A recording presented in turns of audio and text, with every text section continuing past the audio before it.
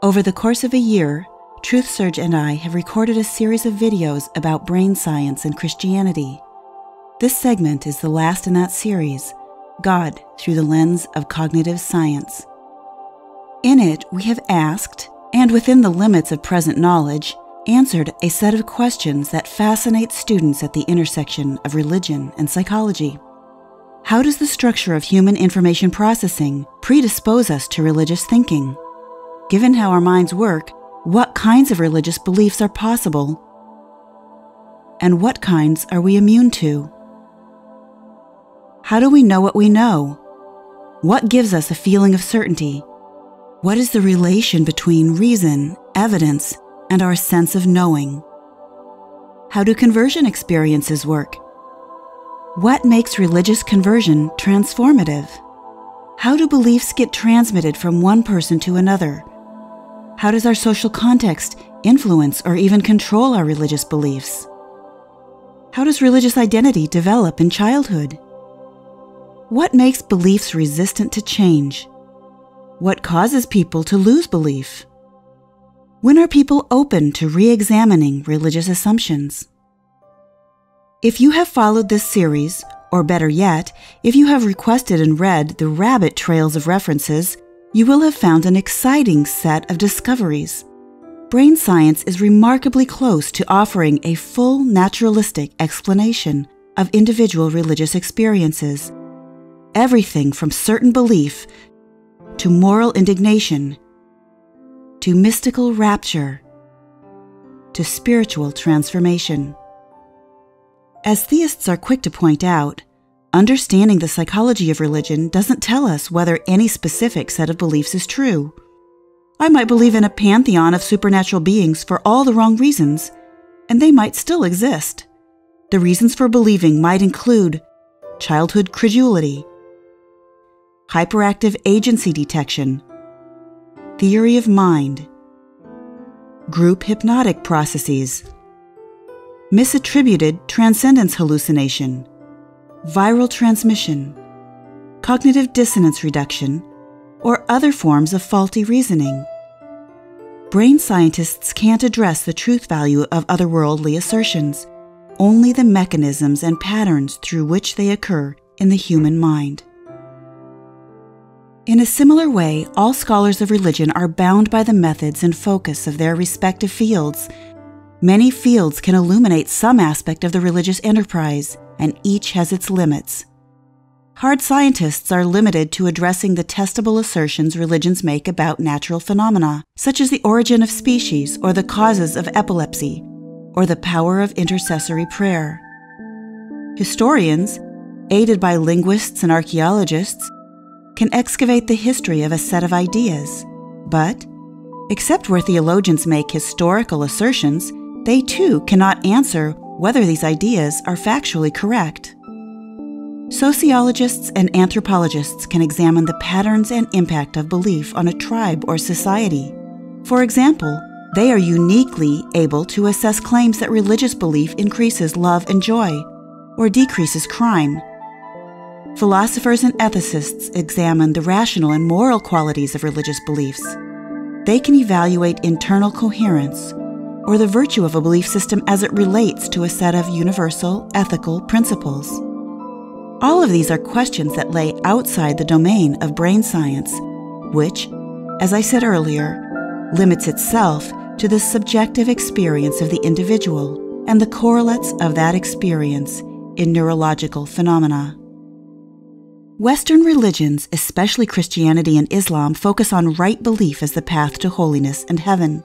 But scholarship in the fields I have mentioned science, linguistics, archaeology, sociology, anthropology, and philosophy taken together shows us that most knowledge claims made by these religions are weak. They contradict science, appear historically unlikely, and fail to live up to the claim of moral authority. A vast preponderance of evidence suggests that the Abrahamic religions are a stew of fact and falsehood and moral contradictions.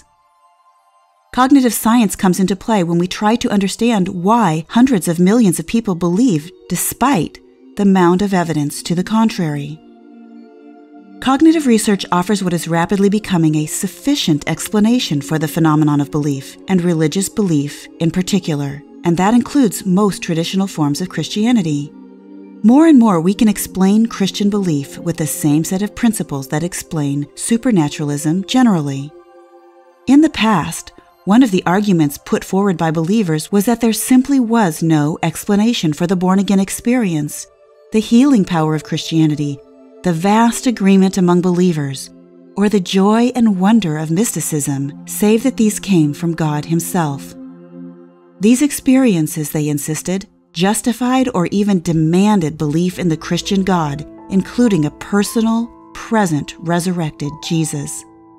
We now know this not to be the case. Humans are capable of having transcendent, transformative experiences in the absence of any given dogma. We are capable of sustaining elaborate systems of false belief and transmitting them to our children. We are capable of feeling so certain about our false beliefs that we are willing to kill or die for them. It is possible, absolutely, to assert the truth of Christian beliefs, even knowing that there are now other explanations for the Christian experience. Claims about the afterlife or the spiritual realm are, after all, untestable. They cannot be proven and they cannot be refuted. When it comes to beliefs about the world to come, literally anything goes. It is also quite possible to assert that the Christian experience has unique supernatural causes one could say, for example, that Christian joy is somehow different from the joy experienced by other people. It alone has both material causes, meaning social, physiological, and psychological causes, and other supernatural causes, the indwelling experience of the Holy Spirit. But this kind of claim puts a defender of faith in an awkward position, one that is at odds with how cause and effect explanations usually work. A general principle that has worked well for humans seeking to advance or refine knowledge is called parsimony, also known as Occam's razor. It can be paraphrased thus Usually, the simplest explanation is the best one, or don't multiply entities unnecessarily. If we can predict storms by looking at barometric pressure and cloud formations, then there is no need to posit the existence of storm spirits or angry ancestors causing us trouble. If we can predict that an electric light will come on when a circuit is completed, we don't need to talk about the additional but undetectable flow of magic that makes the whole thing work. When scholars adhere to the principle of parsimony, explanatory factors get added only when they allow us to control or predict with greater accuracy.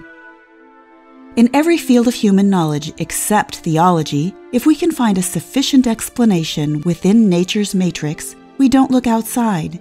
We no longer, for example, posit that demons are involved in seizures or bubonic plague. It's not that we know for sure that the demon explanation is wrong, simply that it is unnecessary for predicting or treating seizures and infections. What does all of this imply for the future of religious studies? simply that supernatural explanations for religious experience are becoming unnecessary. 18th century French mathematician and astronomer Pierre Simon Laplace wrote a volume on the movement of the heavenly bodies.